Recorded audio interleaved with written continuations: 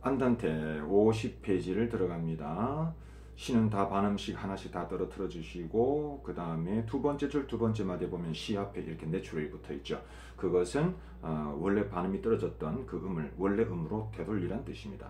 예. 그 마디만 해당 됩니다. 그 마디를 벗어나면 다시 어, 맨 앞에 높은 음자 옆에 있는 조표 어, 플랫 때문에 C 플랫 때문에 반음이 다시 떨어진다는 거 안단테 들어가 볼게요.